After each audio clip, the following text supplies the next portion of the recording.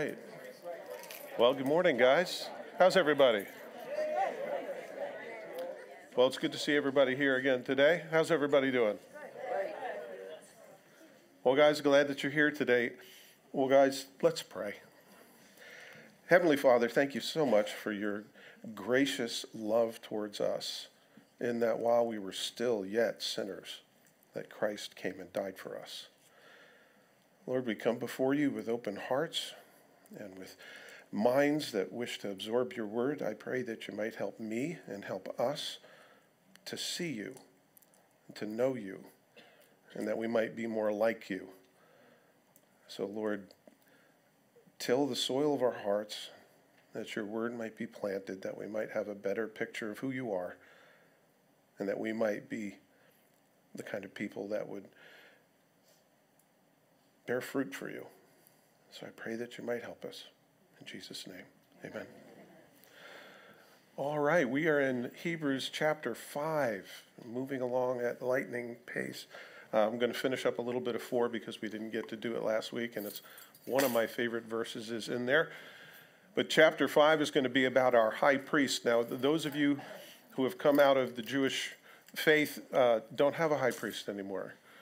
Ever since 70 AD, when the Romans tore down the temple, the whole sacrificial system and the priesthood has been annihilated. But it is being rebuilt actually in Jerusalem. Uh, pray for those folks, by the way. It's hard to not be glued to the TV with everything that's going on, and uh, I've been praying seemingly all, all every third breath. I'm, I'm praying for them. But uh, they're getting ready to rebuild the temple and the Antichrist to eventually come. So that's all going to happen in the, the seven years of tribulation. So uh, we are getting closer and closer to the return of the Lord, if you have not noticed. And when things get worse and worse, I say, oh no, things are getting worse and worse. And the Lord says, uh huh. And I go, oh yeah, that has to happen before you come back. I get it. And so we don't mourn as those who have no hope. Amen? So we're going to be in chapter 5. Uh, interesting passage here in chapter 5, verses 8 and 9. Though he was a son, speaking of Jesus Christ, yet he learned obedience by the things which he suffered. And having been perfected, he became the author of eternal salvation to all who obey him. It's a very interesting scripture because Jesus, being God, the Son of God, how can he learn? How can God learn anything? Doesn't it make you just go, hmm, good, I'm not the only one. Previously, we were in chapter 4, and I'll, I'll just do a very quick summation on what we talked about. It was about rest. If you guys remember, it was talking about the Sabbath and what that was created to be, and there's the, rest in which Canaan was a representation of, in which they were not able to enter because they didn't have faith. There's the rest that God has because after six days on the seventh day, he he rested from all the work that he had done. And I asked you a trick question. How long was the seventh day? We're still in it. It doesn't say that there was there was evening and morning and uh, uh, an eighth day. It doesn't say that. And most people just did a quick reading would just miss that. But the seventh day is today. And so when the Lord asks us to come into his rest, it's about entering the rest that he himself is in. And God doesn't worry about anything, does he? Because he already knows everything. And if he wants to change some of the pieces on the board, he does it, doesn't he? So I take comfort in that, that God is sovereign above all things. The theme of Hebrews is that Jesus is better than all of these things, and the, the writer of Hebrews has made a good job of making sure that we understand that Jesus is greater than all of these things, trying to encourage the Christians who have come out of the Jewish faith and the sacrificial system and the priesthood and the temple worship to not go back to that because Jesus is the fulfillment of all of what that is a shadow and a picture of. And so if you left that, then you're leaving the reality for a shadow. So this week, we're going to talk about him being our high priest. We're going to see two of the seven warnings in Hebrews. We're going to uh, hopefully get through four and go to five. We talked about what rest really is, and that we should be careful that we don't enter into it. And just so that you understand, it's about sanctification, not salvation. It's not like we have to work and do and make sure that we do all this to get saved. It's now that we are saved, we can also miss out on our inheritance. Our inheritance is not heaven, by the way. Our inheritance is living a victorious life, is living the kind of a life where we rest from our own labors trying to be good enough before God, a system in which says, you know, you have to work yourself up to be good. Most people believe in that, right? You, have heard about the scales in heaven. Well, if, if I get to heaven and my good deeds outweigh my bad deeds, then I'll go to heaven. Well, who told you that? What, what book did you read that from? What authoritative figure did you hear that from? Oh, I just figured that's my religion. I just made it up. That would be honest. But most people say, well, isn't that the way it works? That's not the way it works. And if my bad deeds outweigh my good deeds, then I'll go to the other place. And they don't want to say the other place. I don't know. You ever talk to people and get that? I'm not the only one, right? Good. It's about entering into the rest, the rest that God has for us. And there's a problem with people in church. Really, people in church? Yeah, people in church is a problem because we are some of the best educated, Bible literate people that you'll be able to find. The problem is, if it's just words and it's not accompanied by action, it means nothing. If I told you uh, the towers were under attack on 9 11 and you did nothing, you would be a victim, a victim of not listening. It's not that you weren't told. And so we run the risk of the same thing when we know so much more than we do. Any of you feel that tension that you know more than Jonathan and I know? It's just Jonathan and I. Because we're such a well informed people with the internet, with our phones in our pockets, with uh, books galore. Uh, you know, just go on Amazon and it'll come to you like a Christmas present. You can unwrap it. But if we don't do anything about it, it's not going to profit us at all. If we don't mix it with faith, James chapter 2 goes into that because faith without works is dead. It's not real faith. Faith is living, it actually produces something. There's evidence, right? Be careful because if you don't enter into the rest, you may end up falling dead in the desert, like all of the folks did in uh, the Old Testament. When Israel came out of Egypt and they were led out, they, they go scanned out the land, see what it's like. Oh, it's great, but there are giants. We can't go there. We, we look like grasshoppers next to them. In our own eyes, that we're grasshoppers. And so they didn't go. And so instead of going in after 40 days of looking, they ended up wandering through the desert for 40 years. And they never entered into that rest by the way, Canaan isn't a picture of heaven, it's a picture of the victorious life that God has for us. It's about our inheritance, which is living a life where we're not controlled by sin any longer, but by the Spirit of God, where we can do wonderful exploits for the Lord. Amen? Amen. I don't know about you, but when I get to speak up for God or, or reach out to somebody who doesn't know Him and I get to represent Him, it's exciting. If you want to know what it is to be in the victorious life. You need to get it out on the field instead of sitting on the bench, right? Because what a blessing it is. And I can tell you that's the kind of thing you want to be involved in. And so we talked about God's rest, that the Sabbath, it, the seventh day, is God's rest, and He didn't stop resting, not even until now. He didn't create anything new other than in you and I through the Holy Spirit. That He makes new still. We talked about mixing it with faith and stepping out and not being like the people in Numbers 13 and 14, where you see yourself as a grasshopper as opposed to God sees you as a victorious people. And what happens when we enter into his rest is we stop from our own works, that celestial scale where, well, if I did a good enough job, then I'll go to heaven. Well, that, that's like playing Jenga. You know, it just not, it's not going to amount to much. It all falls down, right?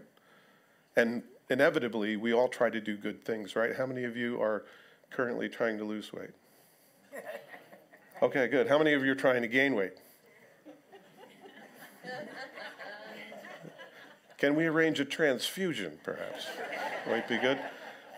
We're always trying to better ourselves, and we've got self help books, and it's a multi billion dollar business, and it's all about self help. And yet, people are still trying to help themselves, and they're still just as messed up. You know, people are still making New Year's resolutions. Oh, it's coming. It's coming. If the Lord doesn't come and take us home, you will get through into 2024. You'll get to the next year. And then what? The resolutions. No more cake, no more sugar. I'm going to stop this and this and this and this. That's great. And then comes the first. Within the first 10 days, 83% of those people completely lose it and go back to the people they were. So self help doesn't work. And when we enter into Christ, then we enter into this place where we stop from trying to be good enough and thin enough and smart enough and pretty enough and, uh, you know, all of that, trying to be enough. God already says, all right, you're messed up and you're broken. That's why I sent my son to die for you. Because you can't be good enough. We all fall short of God's glory. Of all the things that we could do, of the best we could be, we never amount to that, do we? And certainly not enough to enter to heaven, because the only way you enter heaven is to be perfect. And there's only one. And un- unless you're unless you're in him, who's Jesus Christ, you're not going to make it. So we talked about that, about ceasing from our works and not working ourselves up to being saved. And it's not about works, and the rest is entering into Christ. It's not a place, you know, we usually think, I, I think about rest as being, you know, horizontalish, you know, and uh, with, with shoes off, maybe dressed in something without zippers and buttons, like sweatpants and sweatshirt with a hood. Like a good nap on Sunday, maybe, after a big meal. You know, that's what I think of when I think of rest. But rest is entering into a place where you don't have to worry you don't have to fret. You don't have to freak out and chew your, your fingernails to a nub. You don't have to nag people. These are all the kind of things we do when we worry. We can rest in Christ and know that the Lord's got this. And it doesn't matter what's going on on TV. God is still God. He's still on the throne. So, come to me, all you who are weary and heavy laden, and I will give you rest, Jesus says. Jesus is the one who tells us to come to him for rest. And when you enter into his rest, it's done. Don't worry about whether it's Saturday or Sunday's the Sabbath and well what guy, what day do you guys worship on? Hey listen, I'm in I'm in the seventh day all the time. How about you? Amen. Let us therefore be diligent to enter that rest. Now he's talking to them as believers. Be diligent to enter that rest, lest anyone fall according to the same example of disobedience we have this really bad example of what it looks like to not enter God's perfect will of where He wanted these folks into this rest, into Canaan. And all of their bodies fell in the desert except for two Joshua and Caleb. And because they had faith and believed God, the Lord preserved them through all that. They got to the other side, and then there was a trouble spot in the mountains where, the, where some of the Anakims still were. And uh, 85 years old, Caleb steps up and he says, I'll take it. Give me that land as an inheritance. I'll take it. I'll go fumigate. And he did. So that's what I want to be. That's a really good example of faith. And by the way, this is an encouragement about overcoming because there are rewards so much more than getting a right credit card. There are rewards when we come before the Lord, and He's actually going to honor us by announcing to everybody what it is that we did in Him, not in our own strength, not in our own maturations, but according to what's in Him. In fact, if you look at all the churches in Revelation, from Ephesus to Laodicea, every one of them, there's a benefit. There is a blessing that God says He will give if they endure. Uh, eating of the tree of life, not hurt by the second death. Hidden manna, get a white stone with a new name that only you and the Lord know. Did you know your name is not your name? Talk about an identity crisis. The Lord's going to give you a new name. Anyway, Hidden manna, a white stone, a new name, that there's power over the nations. You'll have white raiment, uh, that your name will not be blotted out of the Lamb's book of life, that you're, you'll be a pillar in the temple, and a new name that you will sit with him upon. So we are to beware of falling and about disobedience as Christians. Well, I thought I just accepted Jesus and my whole life would be perfect. No, not really. It's more like entering the military because there's a lot of training going on, you know, and you know, we've got to, we've all got to get on board, and praise God for that, because uh, I, I would hate to be the person I once was.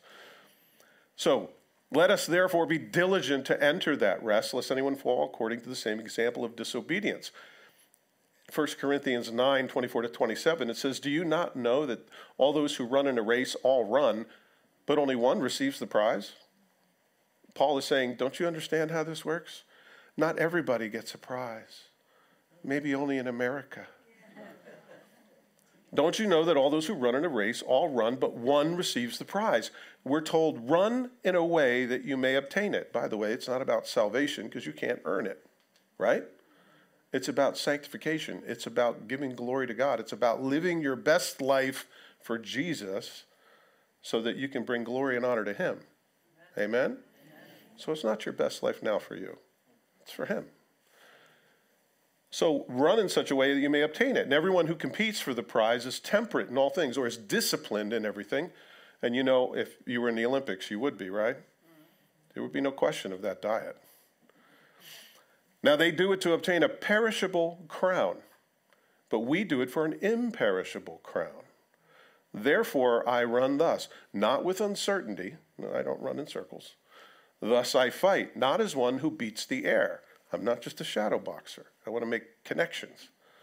But I discipline my body and I bring it into subjection, lest when I have preached to others, I myself should become disqualified. What are you disqualified from? Not eternity, you're disqualified from the prize.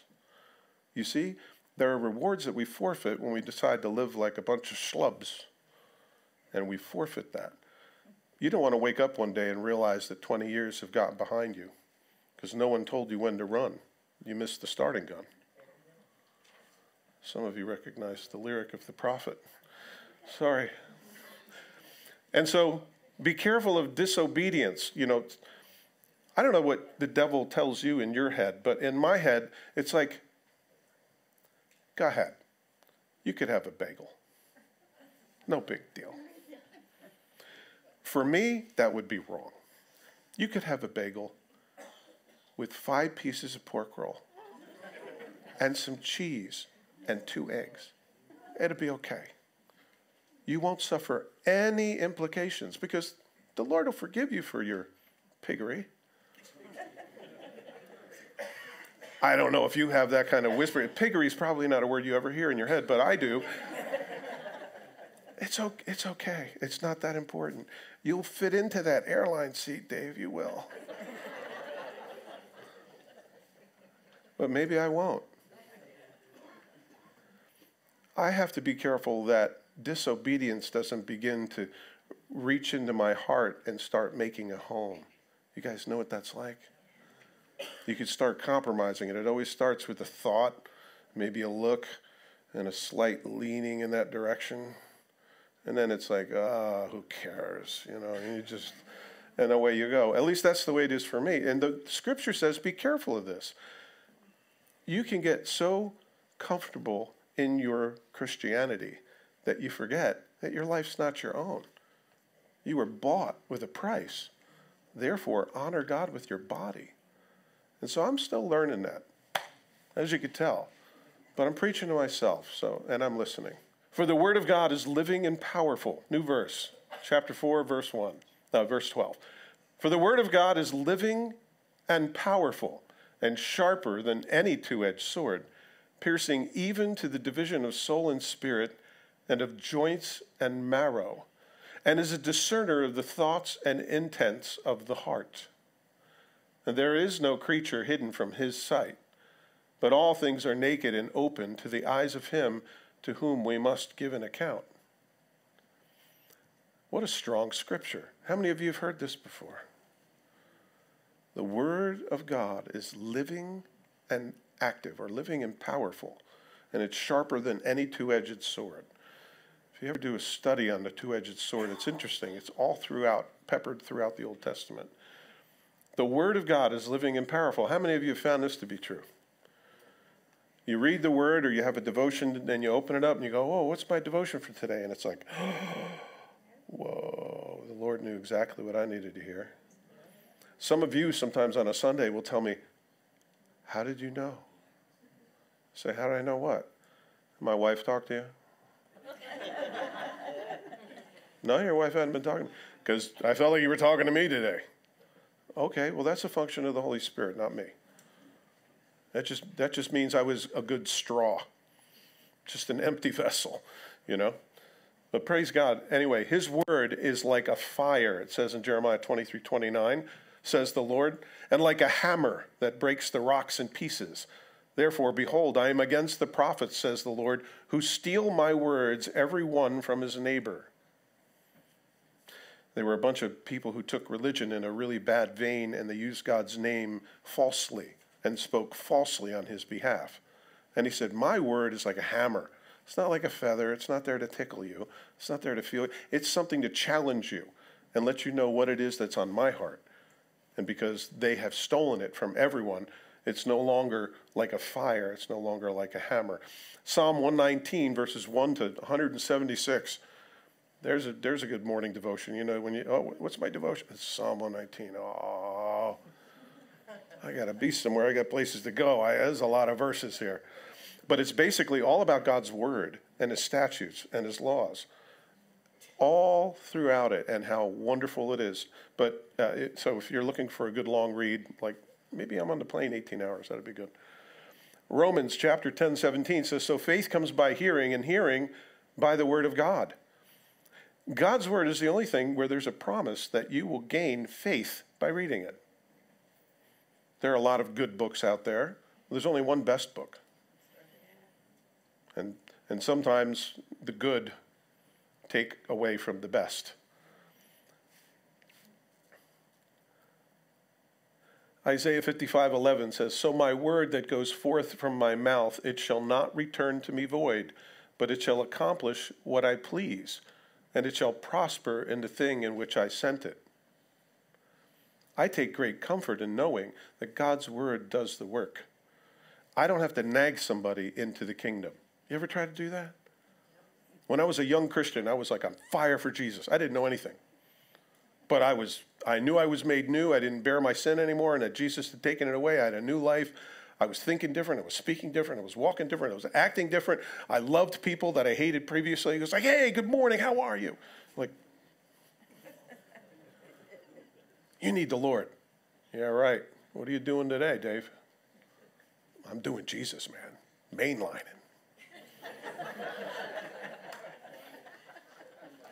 I had a lot of zeal with no knowledge, not a good combo. But I can tell you that I was on fire to tell people about Jesus because I loved them and I wanted them to have what I had. You know what that's like?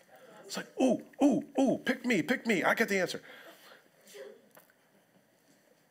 And when you share your faith and you share the Word of God, by the way, if you share your testimony, you don't know what's going to happen. But you share the Word of God, faith comes. You share the Word of God, and it accomplishes that which He sets forth to do. Sometimes it's just to look at the videotape in judgment. You know, people are going to show up, stand before the judgment seat, and give an account for things done in the body. And they're going to, like, it's you. I had no idea. Nobody told me. Let's go to the videotape. Remember when this person came up to you and they quoted this passage and you felt that little bang and you just decided to cover it up with dirt and walk away? That was me. So sometimes God's word goes and brings faith, sometimes it just brings judgment. So God will take care of what the meaning of it is. You take care of giving it out. Amen? Sound like a good deal? For the Word of God is living and powerful. I want you to notice something. It's like the antidote for a lack of faith, isn't it? The Word of God. Because very often, whenever it is that we fall, you realize we have to make a decision, and it's usually a reflection of what we believe. So if I decide I'm going to go off and do something that the Lord doesn't want me to do, it's because I don't believe what God has already said to me. You see? It's so simple. Except it's so dastardly because I don't have enough faith to trust God at His word, and so I don't believe it. And so I believe a lie and I go over here and then I do stupid things. Any of you experience that? Okay, about nine of us. Okay, good. And so I find that the Word of God is the antidote to me doing stupid things.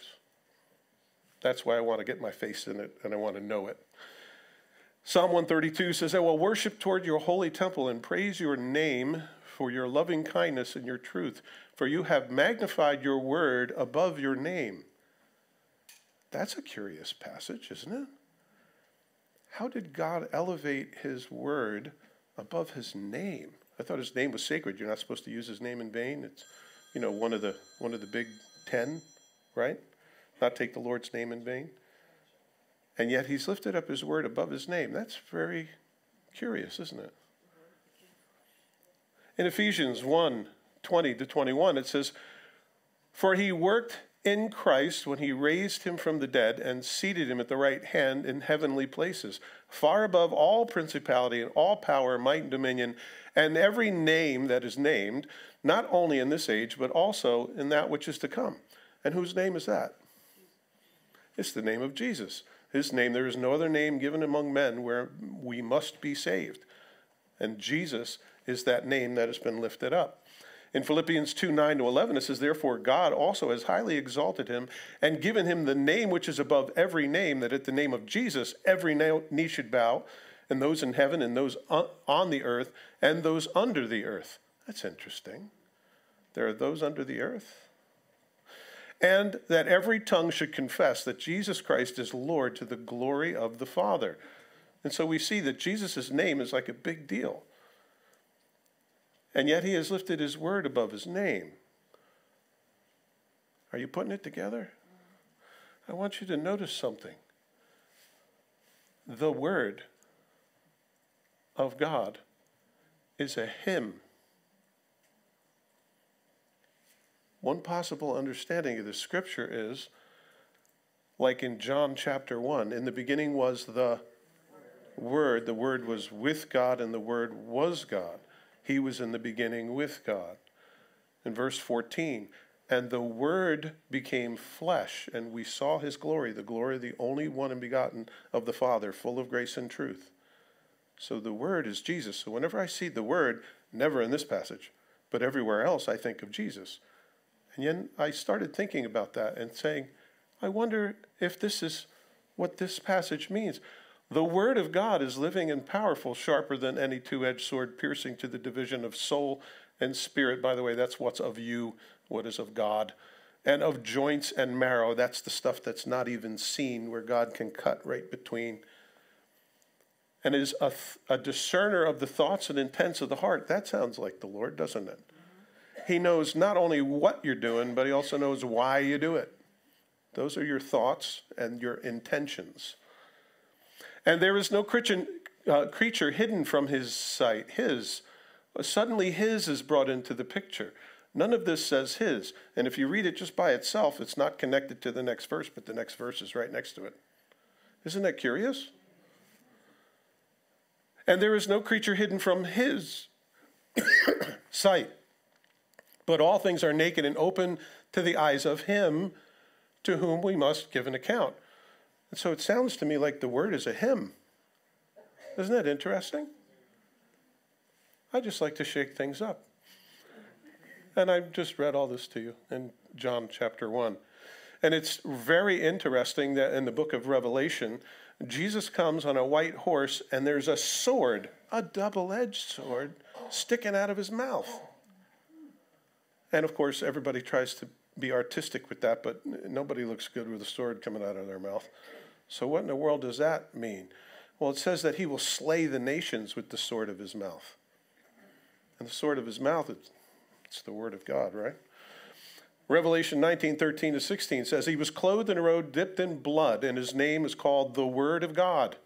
And the armies in heaven, clothed in fine linen, white and clean, followed him on white horses. Now out of his mouth goes a sharp sword, that with it he should strike the nations, and he himself will rule them with a rod of iron. He himself treads the winepress, the fierceness, the wrath of Almighty God. It's interesting, Jesus has a sword coming out of his mouth. And this passage says, The word of God is living and powerful, sharper than any two edged sword. You see the connection? I'm glad I'm not the only one, because sometimes I see things and I wonder if I'm just seeing things. 1 Corinthians 13, 11 to 15 says, There's no other foundation can anyone lay that which is laid, which is Christ, Jesus Christ. Now, if anyone builds on this foundation, notice the foundation's already laid, with gold, silver, precious stones, wood, hay, straw, each one's work will become clear. For the day, that's the day of the Lord, will declare it, because it will be revealed by fire. And the fire will test each one's work of what sort it is. If anyone's work in which he has built on it endures, notice you build on it, the foundation of Christ, he will receive a reward. Notice a reward. If anyone's work is burned, he will suffer loss, but he himself will be saved, yet so as through the fire. The picture is this Christ is the foundation. Everything that we do in him is like building a house. It's this wonderful testimony in which, if you're lucky enough, you will die in Christ and then somebody will read it in front of a bunch of people you know. Right? That's basically your house. And they will give all the details of your house and your life when you're gone. And you'll be up in the front of the room and everybody will be facing you, much like you're facing me now. No other foundation can be laid. He's talking about Christians. He's not talking about working our way to heaven. He's talking about building in the foundation of what Christ has already given to us as a gift, which is his grace and forgiveness. And some of us aren't going to do much with that. We're going to get into heaven through fire. And it's going to burn away all the junk in our lives, which means nothing. How many of you are glad for that? Because, boy, there's a lot of junk.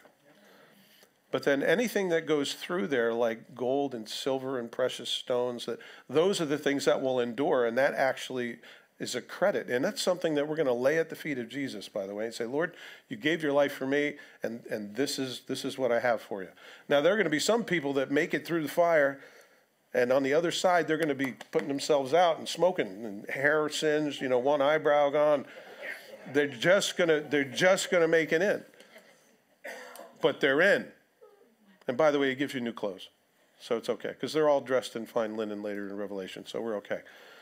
But the, the point of the matter is, what do you what do you bring into the Lord? What has His salvation meant for the way that you live your life? And it's something that we should be thinking about and checking constantly. Like, Lord, how am I doing? What can I do better? How can I serve you better? Are there things in my life I can eliminate? Are there are there places where I can I can sacrifice for the benefit of others? How how can I serve people around me that have real needs? These are, these are the kind of questions we should be asking, I think, all the time, because we want to honor God and his sacrifice that he made for us on the cross. Amen? That is the heart of a believer. It's, it's not just me because I'm a pastor. That's the heart of a believer because God gives you that heart. And you want to serve him because of what he's done. There's no other foundation that can be laid other than the one which is laid, and we get an opportunity to show blessing and honor and give our lives for Christ and make it count into eternity. So I look forward to that.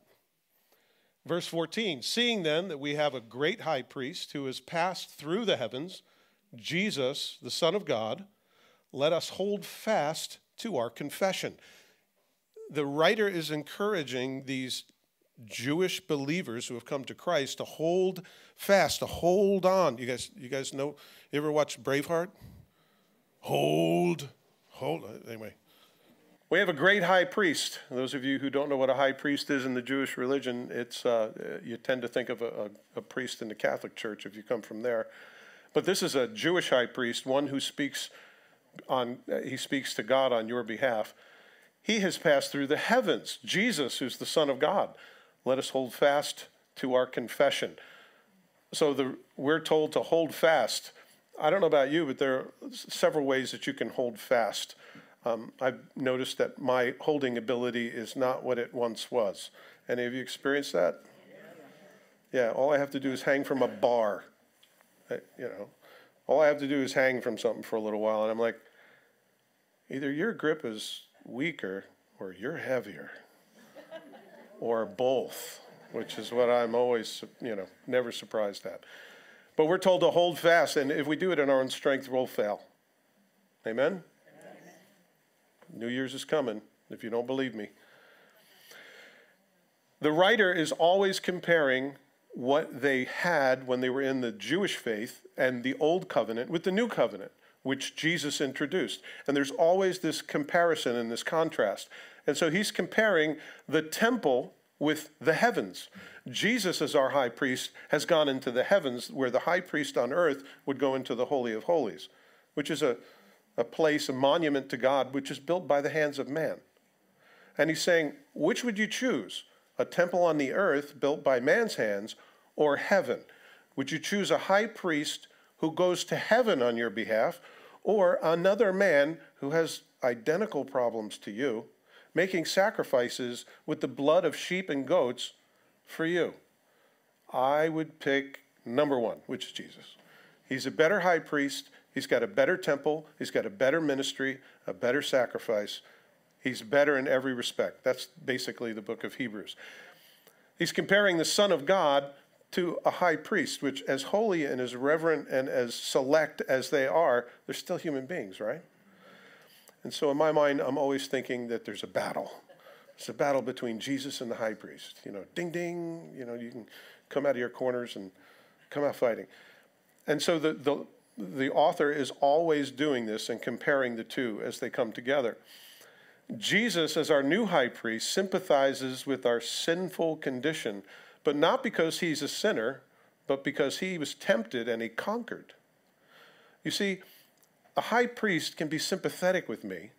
It's like, uh, you're back again? Yeah, okay, I get it, no problem. Let's get busy. Get the animal out, you know, eh, eh, eh, you know, under your hands and, you know, tied up, and now you're going to sacrifice this thing, and this person's going to have their hands. Yeah, you sinned again, huh? Yeah, yeah, sinned again. Yeah. The high priest shouldn't be like, you should know better. No, because you're a sinner too, right? But Jesus is a high priest because he was victorious. He was tempted in every way as we are, and yet without sin. And yet he has compassion on us because he knows how hard sin really pressed him, so he knows how hard it's pressing you. And if you think that there's no one on this earth that understands what you're going through, Jesus does. Jesus knows far more than you what it is to suffer. And so it says that we can come boldly before the throne of grace that we may obtain mercy and find grace to help in time of need. Aren't you glad for that? We have a high priest who can sympathize with our weaknesses. And I'm grateful for that. That when I go to the Lord, He doesn't say, Huh, you again? You messed up again, huh? He doesn't, he doesn't treat me with any other attitude than, I'm so glad you came. Let's talk. Because it's all about working that out. It's not about beating me down. It's not about beating you down either. So, if you think you go before God and he beats you down, you got the wrong God. Make sense? So, if you're interested in winning the battle, you have to ask the victorious one for help, right?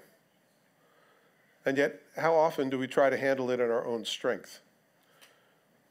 I, I think of the song, you know, how often we shortchange ourselves because we don't take things to the Lord in prayer. Oh, what joy we often forfeit.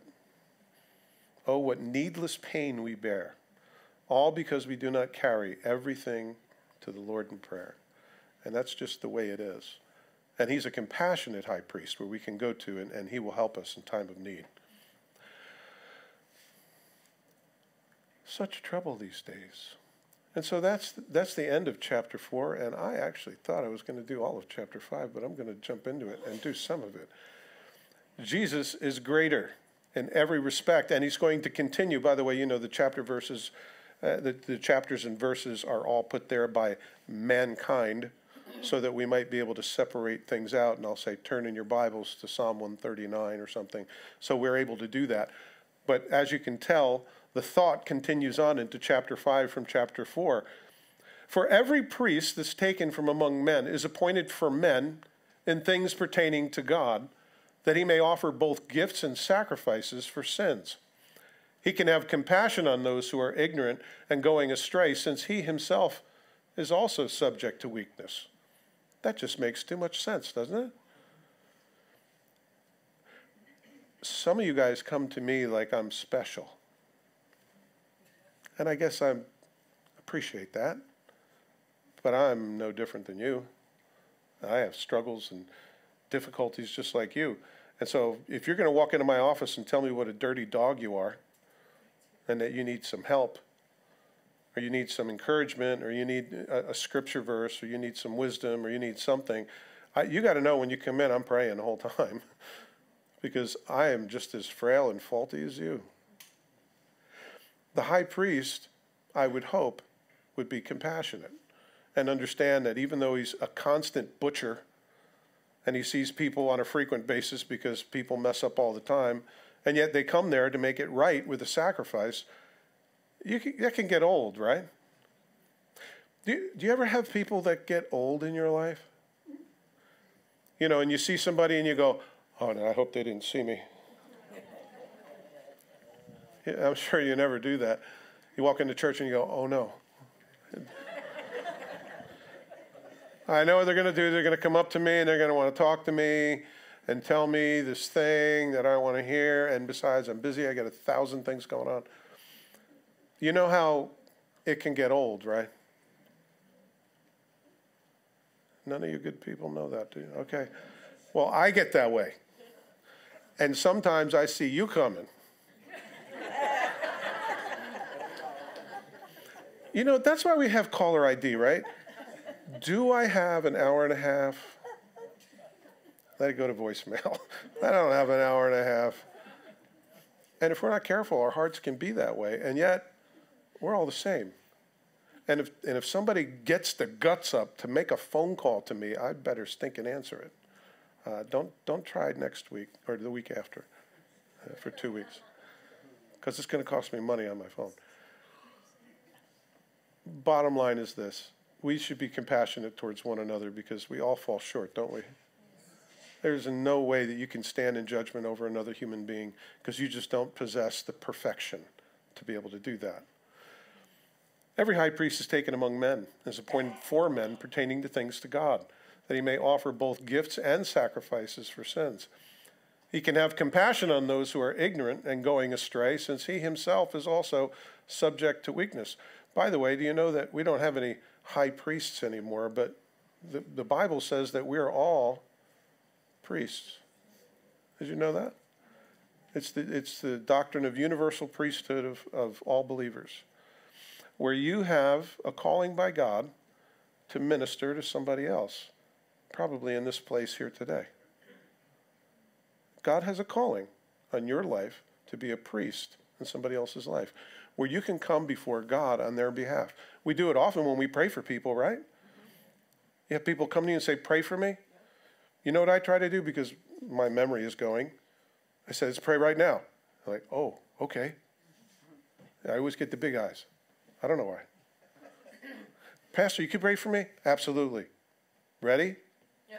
Oh, I didn't even tell you yet. I know, but I'm ready. I'm already praying. Because if I say, okay, I'll pray for you, and I wait till later, I might forget. And I don't want to forget. I want to bring it to the Lord, and then I want to watch what He does. My wife and I had the benefit of uh, meeting three young ladies in our date night on Friday. And they took to us, they thought we were cute. because we were holding hands and, and we were just walking across a lawn. And one of them went, Oh. You guys are so cute. I, that's a picture. That's like a postcard. Because I was holding my wife's hand.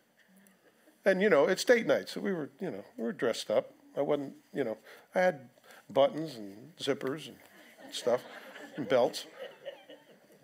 And these, these ladies were at this place where we were, and then we went to another place, and they were there again.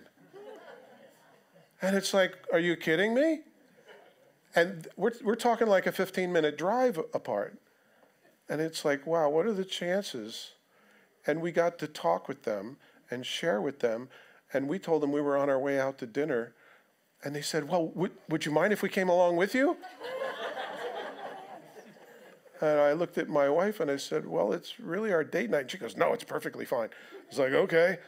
So there's me with four women. I had to tell you, I felt a little, a little like don't don't think the wrong thing here, people. But they were they were young enough to be my daughter. And well, we sit down and we begin to talk about the Lord.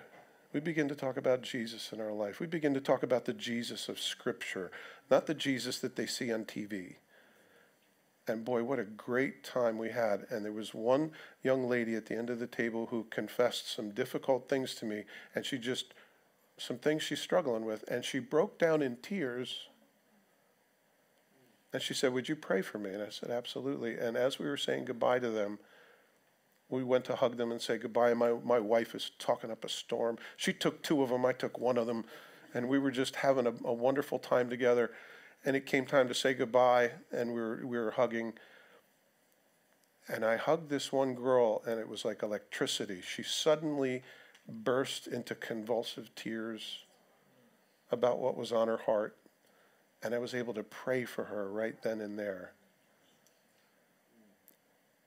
And you know what? I'm looking forward to see what God's going to do. When you enter into a relationship with people that may not know the Lord like you do, you have this wonderful benefit to be able to emulate him by your behavior. And if you are just absolutely blessed beyond all people, you will be the person that God enables to speak to them about eternity, about salvation, about having a relationship with God that's not based on your perfection it's based upon the finished work of Jesus Christ. That was one of the best date nights we had recently. Being able to be with these, these three young ladies. Uh, two of them were from Houston, Texas, so I don't think I'll be seeing them anytime soon. And one was from Philadelphia.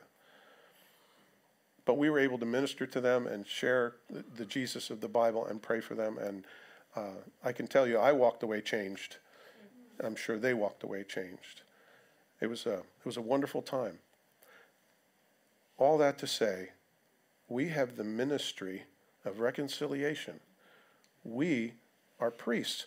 A priest stands before God on behalf of somebody else. That's what a priest does. A prophet is somebody that comes and speaks on behalf of God. So they're kind of in opposite directions. Not everybody's called to be a prophet, but everyone's called to be a priest. And you can speak the word of God to somebody and Speaking the word of God brings faith.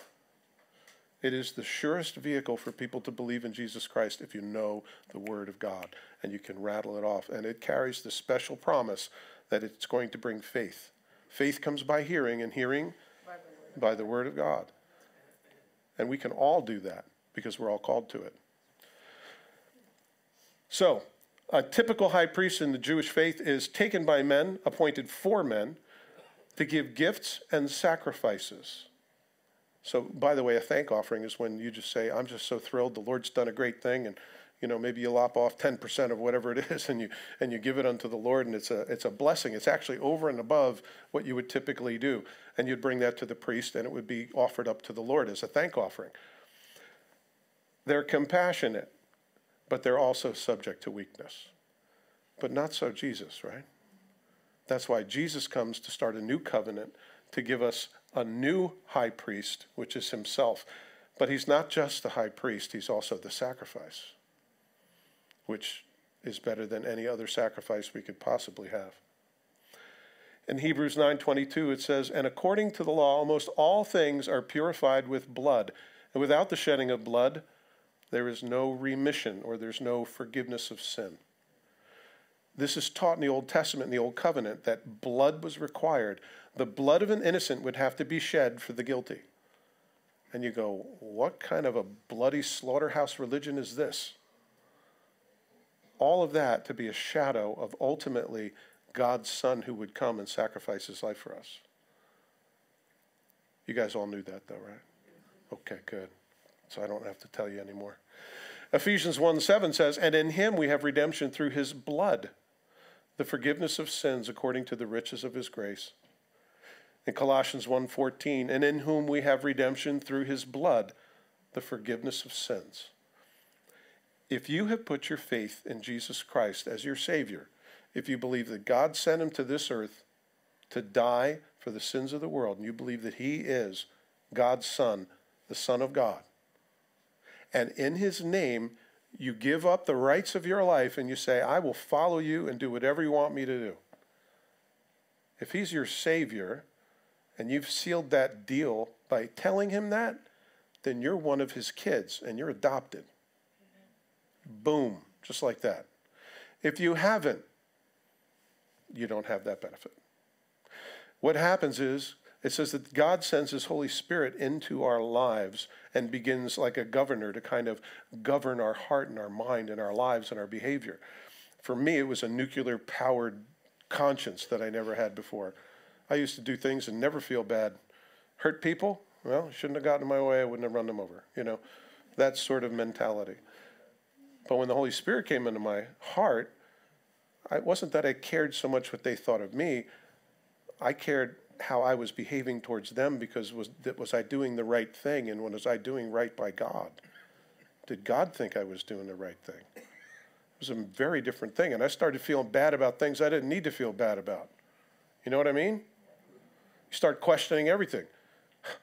Did I put the right color shirt on today? Does this not glorify God? You know, like you, you start questioning everything. And obviously, I, I went way overboard into some areas until I learned what the scripture taught, which is I can rest. I can rest in Christ. And if I walk in the Spirit, I won't fulfill the lust of my flesh. I won't have to worry about that. I'm going to cut it off here, guys. I want to thank you for being patient as I go through all of these frenetic uh, ideas and thoughts and all my little bizarre off topic things. I want you guys to be good while I'm gone, okay? I want you to be nice to the elders. These guys are going to work very hard to stand up here and to deliver you something that God gave them for you. Let me tell you, it's not as easy as it looks. You could try it sometime and you'll see what it's like. But you're going to hear from Johnny D on Thursdays. He's going to be leading Bible studies. You're going to hear from Carl, the tallest among us. and you're going to hear from Randy. These men are going to take over for me when I'm gone, and they're going to deliver to you a message from God's Word. I've, I've seen all of the topics, and I'm looking forward to watching it myself. So, Let's pray. Heavenly Father, I thank you so much for your architecture, that you have put your scriptures together to enlighten us and show us who you are. And in so many ways, you have prepared the way for the coming of your Son, Jesus Christ, so that when he came, all the pieces of the puzzle would fit together. And I thank you, Lord, that you came to be our high priest, the one who is worthy to stand and the one who is worthy to die in our place. Lord, I thank you for your love and your grace towards us. Help us to be those little priests that you call to go out to bring the message, to share the truth of who you are, that you might fill us with your spirit and that you might help us to bear fruit and it's not about our rewards for our own sake, but it's we want to lay things at your feet and show you our appreciation. So, Lord, help us to be inspired by your Spirit and guide us, I pray. In Jesus' name, amen.